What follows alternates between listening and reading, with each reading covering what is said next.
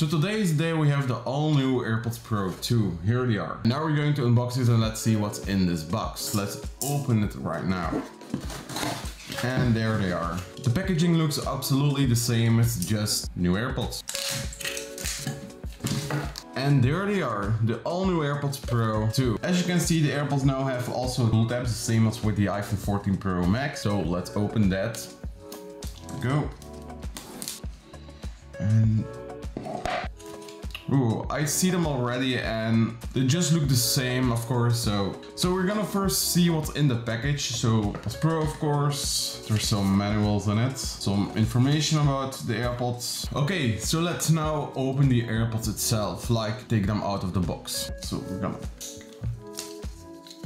new AirPods looks always so good because if you have old AirPods like these are the first generation, I have them now for three years. Like the case I have for three years, the AirPods itself I have now for one year because I did get new ones. But as you can see, this case is so messed up. Like if you use this three years, the case is like really going to scratch, it will get dirty. And yeah, I'm really happy that Apple did bring out new ones. This case, the new case has a lot of new features. Like I'm gonna talk about that in a couple of moments, but the most noticeable is of course the new speaker downside that's just for finding the AirPods with the Find My Network and that's really insane. There's also U1 chip in this AirPods Pro case. There you can put the strap in. The new case can charge with MagSafe, Apple Watch uh, charger, also with normal Qi charging and with Lightning. What also is in the box is of course the new AirTugs. So let's open that up. As you can see now we have extra small, small, large and medium. But the medium ones are on the AirPods Pro 2 as you can see. Then of course we have the Apple USB-C to Lightning cable. Okay, let's take my iPhone 14 Pro Max and the AirPods Pro second generation and open this boy up. This will be the same as every AirPods, but it will be nice again to open it and see the animation again. Oh, the, the case is already making sounds, so that's nice. Connect, of course. Yeah, the AirPods case makes sounds and that's also really nice. I'm gonna see later on what everything is. I'm not gonna use Hey Siri. The AirPods Pro 2 are connected. I'm gonna test some of these functions and then I'll be back and I'm gonna talk more about everything on the AirPods Pro. So I'll see you in a couple of hours.